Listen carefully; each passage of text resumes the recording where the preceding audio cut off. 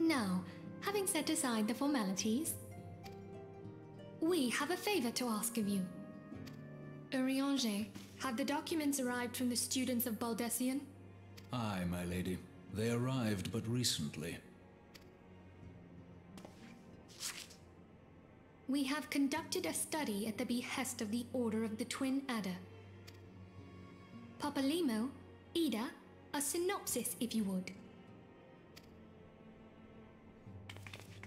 Our task was to survey the behavior of the Sylphs, a beast tribe indigenous to the Twelveswood.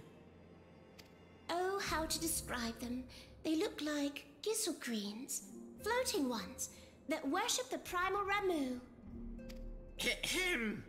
Though technically a beast tribe, Sylphs are blessed with a comparatively personable demeanor, conducive to peaceful communication.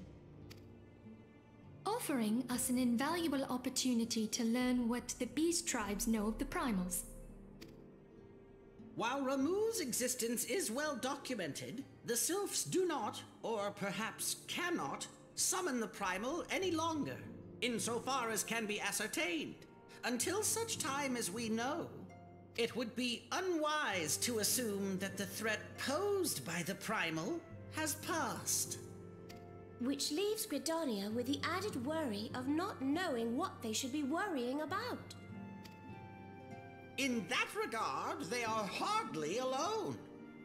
What we can say with absolute certainty is that Gridania has its hands full fending off Garuda. Who, I need hardly remind you, is among the most savage and terrible of all known primals. In short, it is essential that we approach the Sylphs in as diplomatic a manner as possible. Words and actions can be misconstrued. The only sure way to communicate our intentions is the echo. Winning the Sylph's favor may well bring us a step closer to mitigating the threat of the primals. Will you help us? I am grateful. Lovely. Well, as much as I'd like to help, I'm afraid I would be of little use to anyone in Gridania. A veritable babe in the woods. Ida and Papalimo, however, should be able to see the forest for the trees. Is that not so, Minfilia? Indeed. You are willing? Leave it to me. Us, Ida, us!